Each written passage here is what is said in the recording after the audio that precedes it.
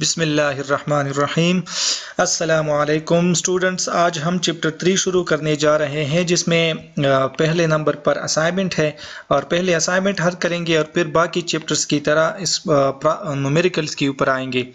तो assignment number one कुछ इस तरह है।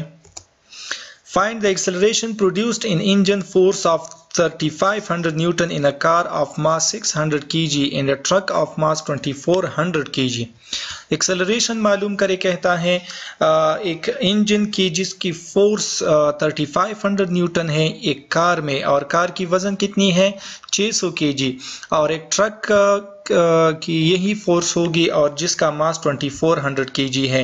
यानी हमने दोनों में एक्सेलरेशन फाइंड करना है।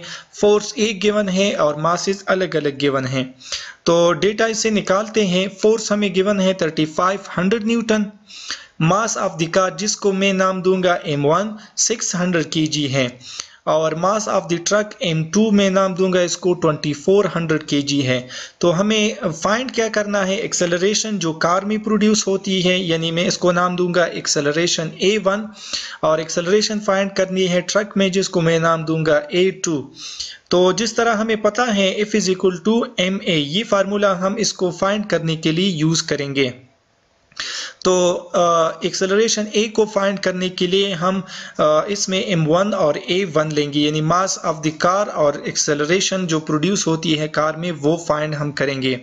इसी को हम इस तरह भी लिख सकते हैं acceleration A one is equal to F divided by M one तो वीडियो पुट करने के बाद इस तरह वीडियो पुट करें। ऊपर हम फोर्स की जगह फोर्स जो हमें गिवन है, वो डालेंगे और मास ऑफ़ दी कार डालेंगे।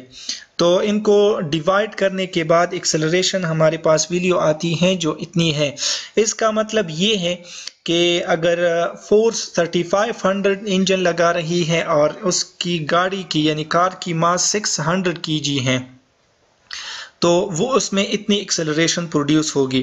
तो ये हमारे पास एक्सेलरेशन ऑफ़ द कार मालूम हो गई। अब दूसरा दूसरा हमारे पास ए टू को मालूम करने के लिए हम एम टू और ए टू को लेंगे। तो ए टू हमारे पास बराबर है एक्सेलरेशन दूसरा ट्रक का मालूम करने के लिए वही एफ़ को डिवाइड करेंगे हम एम टू यानी मास ऑफ़ द ट्रक के ऊपर, जो हमारे पास 2400 न्यूटन है, यानी 3500 को 2400 पर डिवाइड करें।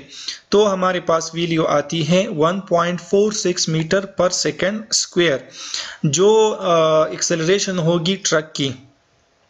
उम्मीद है आपको आ, समझ आया होगा। कोई भी प्रॉब्लम हो तो हमारे साथ कमेंट में रबिता करें। खुदा हाफिज़।